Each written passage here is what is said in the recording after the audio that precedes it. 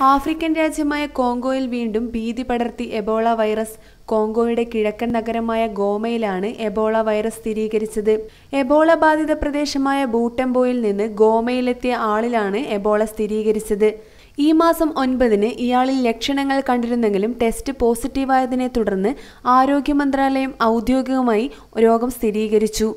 ഇരുപത് ലക്ഷത്തോളം പേർ വസിക്കുന്ന ഗോമിൽ എബോള പടർന്നു പിടിച്ചാൽ വൻ ദുരന്തത്തിലേക്ക് അത് വഴിവെച്ചേക്കാം.